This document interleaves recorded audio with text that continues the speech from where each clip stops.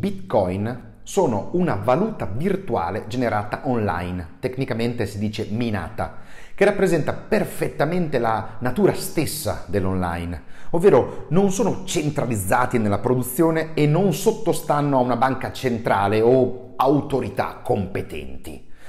Da un certo punto di vista sono autoregolamentati, o meglio, sono regolamentati dagli algoritmi che fanno sì che non vi possano essere bitcoin per un valore maggiore di 21 milioni.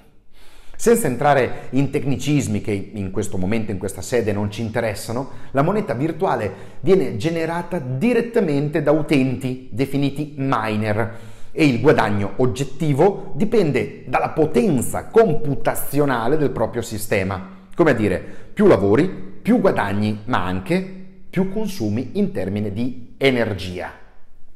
L'enorme problema del Bitcoin sta nella sua stupefacente volatilità, non essendoci sovrastrutture a calmierarlo, e nella sua incredibile caratteristica energivora, visto che per produrli serve sempre più capacità compu- computazionale, la quale costa moltissimo in termini di energia, appunto. Vi sono molte altre criptovalute in circolazione ed alcune di queste, in riferimento alla versione che hanno raggiunto, possono anche essere meno energivore rispetto al Bitcoin. Bene, veniamo a noi. Elon Musk non ha bisogno di presentazioni. È stato uno dei più grandi sostenitori delle criptovalute, partendo proprio dal Bitcoin e dicendo addirittura che le Tesla sarebbero state vendute anche in Bitcoin, appunto. Trovare un'applicazione pratica alla criptovaluta era quello che mancava per renderle davvero popolari quindi bitcoin salgono vertigin- vertiginosamente di valore, portandosi dietro tutte le altre, da, da Cardano agli Ethereum.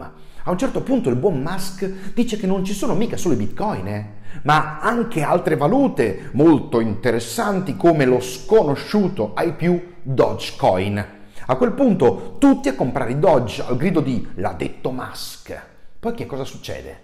Musk dice, ah, i bitcoin consumano troppa energia, forse è meglio pensare ad altro e tutte le cripto crollano.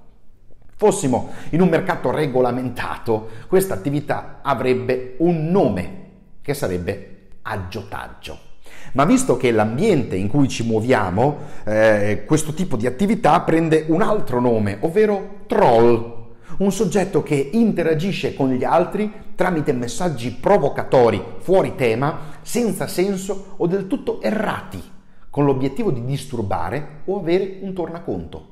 Elon Musk ci sta trollando, sta trollando il mondo intero, facendo alzare e scendere il valore di valute inesistenti per guadagnare senza muovere un dito. Forse è un genio, poco trasparente senza dubbio, troll di sicuro.